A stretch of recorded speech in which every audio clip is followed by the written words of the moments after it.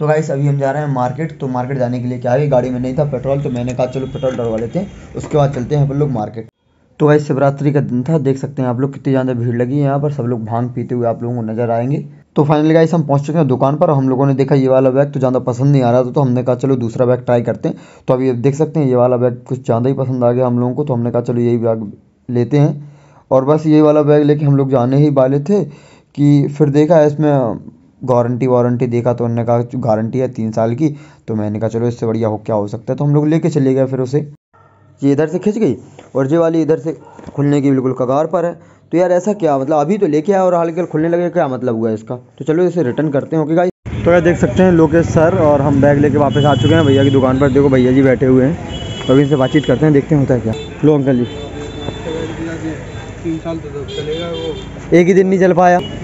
ये ये ये देखिए ये देखिए। और क्या हुआ? ये इधर से ये खुलने ये शुरू हो गया। पन्नी उतारो पूरा कंडीशन उसकी चेंज हो गई सब। ना कुछ आधा ही सामान रखा। ये यहाँ से खुलना शुरू हो गया ये। और बस यही है। हाँ यही सब कंडीशन है।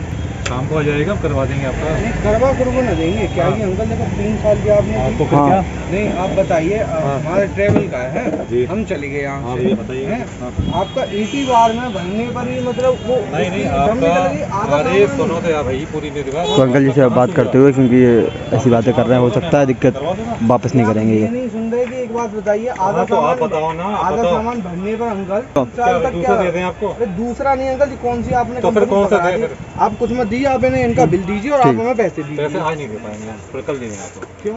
हमें नहीं हम कल भी आए थे कल मार्केट बनता है एक तो ये दिक्कत है। शाम को शाम को। तो गाइस अभी हमने बैग रख दिया है और मैंने बिल ले लिया है। तो अंकल जी आप फ़ोन पे कर देना मुझे ठीक है? अच्छा तुम आ जाना ना शाम को। अब शाम को हम यहाँ पे फिर से हमें भाई शिवाजी नगर रहते हैं यूनिवर्सिटी के सामने। लगा अरे चक्कर हम कल भी लगाए आज भी लगाए तो बहुत चक्कर लगा दिए हमने। आप ट्रांसफ़र कर देना मैं बिल ले जा रहा हूँ ठीक है? तो चप्पल की रेटिंग कितने? दो हज़ार छह सौ निन्यानवे। अब पचास परसेंट ऑफ़ करो कितने की हो जाएगी? हज़ार रुपये हज़ार की कुछ पड़ जाएगी। हज़ार तीन सौ। अब सोच लो गाइस ये देख रहे हो ये? पचास परसेंट ऑफ़ देखकर हमारे लोकेश सर यहाँ पर आ चुके हैं। तो गैस उस वाले बैग को वापस करने के बाद हम इधर आए। तो ये वाला बैग उन्होंने दिखाया लेकिन ये आर्मी वाला बैग था तो मुझे ज़्यादा पसंद नहीं आ रहा तो मुझे चाहिए था कलरफुल बैग तो कलरफुल बैग लेने के लिए चलते हैं अभी तो। तो गाइस भारती आ चुकी है। हाल के इसकी उंगली दो उठ जाती हैं। डाटा केबल कौन सी है? बी टाइप है। हाँ तो दे दो तुम्हारे काम की है? ना तो मेरे पास तो और है। हाँ तो बस दे दो। ठीक है तो हम तुम्हें फ़ोन पे कर रहे हो ओके बाय तो गैस मैंने भारती से कैश लिए थे क्योंकि मेरे पास फ़ोन पे में पैसे थे पर यहाँ पे एटीएम नहीं लिए थे तो मेरा मतलब निकालने थे तो मैंने कह दिया तुम लेके आ जाओ मैं तुम्हें पे कर रहा हूँ। तो बस ले लिए थे और ये पे कर दिया।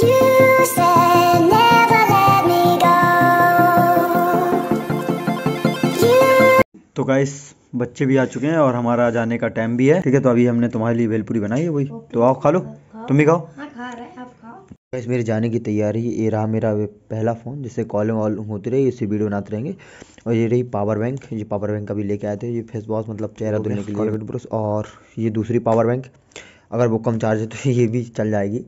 और ये ब्लूटूथ रही और ये ईयरफोन और तो डाटा केबल हो गई, छोटी वाली। मेरा आइडेंटिटी कार्ड मेरा बुंदेलखंड विश्वविद्यालय का, इसे लेके चलते हैं। कोई भी दिक्कत आती है तो ये मतलब सारी चीज़ थोड़ा काम आ जाती है। तो चलते हैं ओके मेन बात, ये मेरा गिम्बल ये ये तो बहुत ज़रूरी है तो इसे भी लेके चलते हैं। और ये ये मैंने टॉवल रख दी इसमें।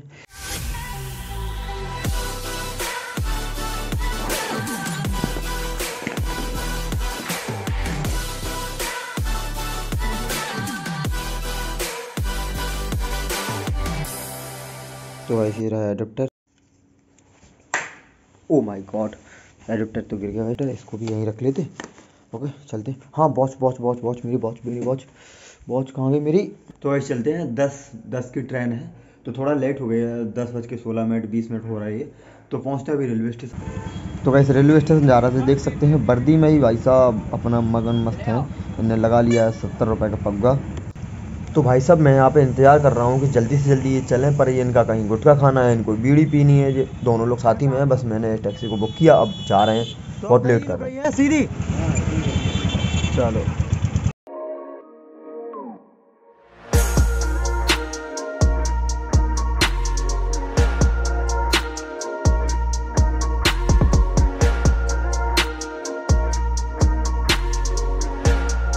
तो फाइनली गाइस हम पहुँच चुके हैं रेलवे स्टेशन तो चलते हैं अंदर और गाड़ी आ चुकी है. तो वैसे प्लेटफॉर्म नंबर चार पर जाना है तो चलते हैं. तो गाइस मुझे रात को बहुत ज़ोरों से लग रही थी भूख तो मैंने कहा चलो थाली मंगा लेते हैं. तो अभी थाली मंगाई है, जिसमें दो कटोरी चावल और दो टमाटो सॉस दाल और चार रोटी देख सकते हैं आप लोग, और सलाद और सब्ज़ी भी आई साथ तो फाइनली गाइस हम पहुँच चुके हैं लखनऊ। लखनऊ में ऐसबाग जंक्शन है तो वहाँ पर अभी गाड़ी पहुँची है। उसके बाद फिर यहाँ से जाना होगा मुझे टैक्सी से या कोई टेंपो वेम्पो मिल जाएगी उससे। तो चलते हैं गाइस तो फाइनली गाइस हम पहुँच चुके हैं ऐसबाग जंक्शन और अभी चलते हैं हम लखनऊ से। यहाँ से तीस रुपये लेगा बोल रहे थे वो कि यहाँ से तीस या बीस रुपये ले लेंगे। तो गाइस पहुँचते हैं ओके चार बाग ही देखते हैं वहीं से जाके और कहीं प्लानिंग बनाते हैं घूमने की। पहले तो चार बाग चलते हैं ओके गाइस तो गाइस सुबह इसमें जल्दी जाने का कोई मतलब नहीं था तो मैं यहाँ वेटिंग रूम में बैठ गया हूँ। तो यहीं पे मतलब मैंने फ़ोन भी चार्ज कर लिए हैं और पावर बैंक भी लगा दिया, आप देख सकते हैं, ये देखो एक पावर बैंक और फ़ोन यहाँ पर चार्ज हो रहे हैं, जिससे कि मतलब मैं वीडियो बनाने में कोई दिक्कत ही ना हो और डिस्चार्ज कोई फ़ोन ना हो, ना ये हो। तो मैंने अभी ये वाला फ़ोन चार्ज कर लिया, पूरा फुल हो गया तो अभी ये वाला बचा तो इसको चार्ज कर लेते हैं और पावर बैंक भी थोड़ी सी बची थी एक पॉइंट तो वो भी चार्ज होती है, उसके बाद चलते हैं, अपन लोग भूल भुलैया ओके तो चलते हैं मतलब तो फाइनली गाइस हमारे जाने का टाइम हो चुका है, सात बज के आठ मिनट हो गए हैं और वेटिंग रूम में सिर्फ़ सिर्फ़ हम और अंकल और आंटी बैठे हुए हैं और कोई नहीं है। तो चलते हैं